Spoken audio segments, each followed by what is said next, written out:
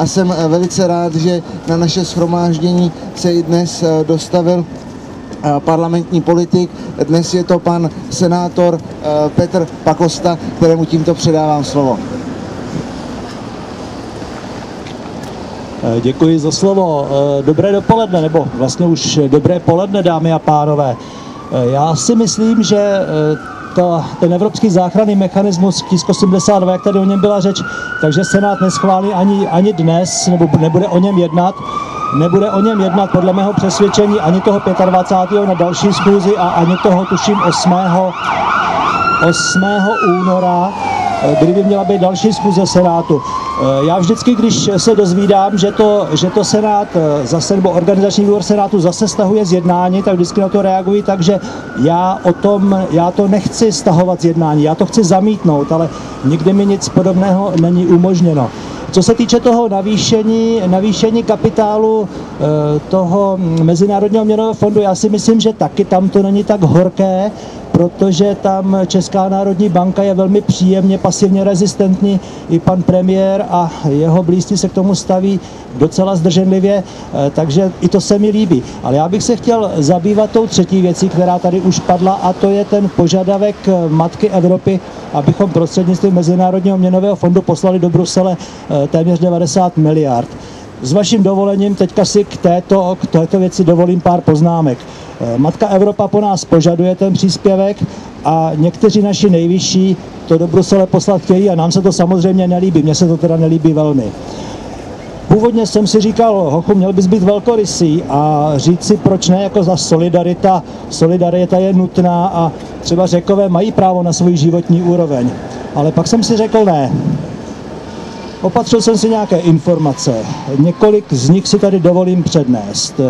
Během prvního kvartálu roku 2012 si plánuje země eurozóny vypůjčit dalších 234 miliard eur, tedy zhruba 9 bilionů korun českých. Dovedete si představit někdo bilion korun českých? Pan Mach je ekonom, dovede?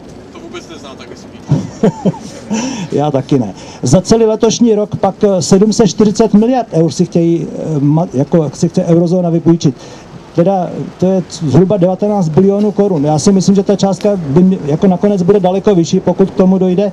O tom budu mluvit za chvíli. Já si myslím, že to bude podstatně více. Celkový státní dluh eurozóny se blíží 8 tisícům miliard eur, čili zhruba 206 bilionů korun českých.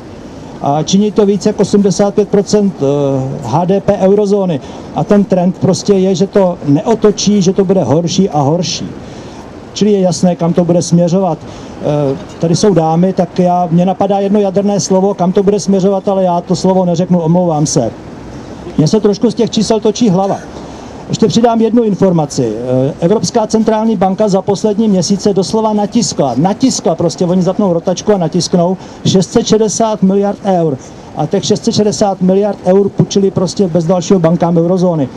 E, asi si dokážete všichni představit, čím jsou ty peníze kryté. E, podle mého názoru možná na nejvýš dobrými úmysly pana Šarkeziho a paní Merkelové, ale i o tom by se s úspěchem dalo pochybovat. Co s tím? Přátelé, no samozřejmě nic do té Brusele neposlat.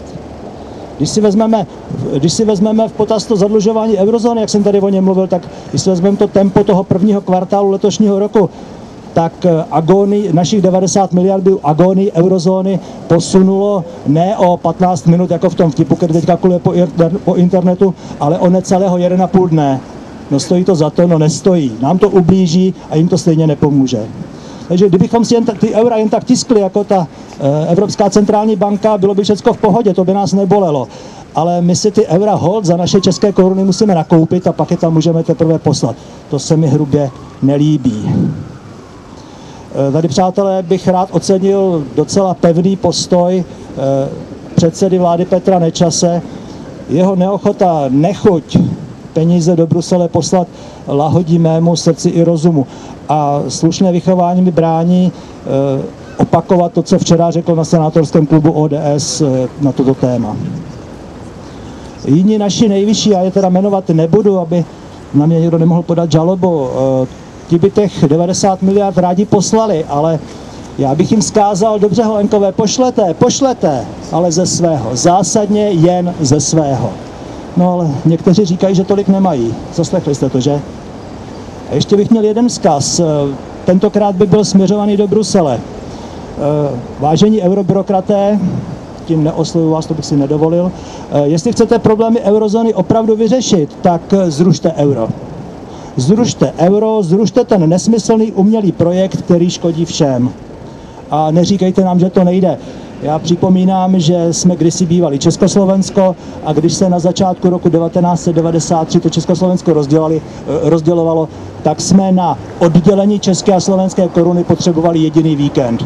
Takže my to umíme, jestli vy říká, že to, že to, říkáte, že to nejde, jestli to neumíte, stačí říct, my s tím zkušenost máme, my vám s tím rádi pomůžeme. A čím dřív to uděláte, vážení eurobyrokraté, tím líp, tím méně nás to všechny bude stát. No a vážení přítomní, vám děkuji za to, že jste přišli a děkuji vám za to, že vám není lhostejný osud, osud této země. A děkuji vám, že jste mě až doteď poslouchali. Přeji vám hodně štěstí. My vám, pane senátore, velice děkujeme za vaše vystoupení.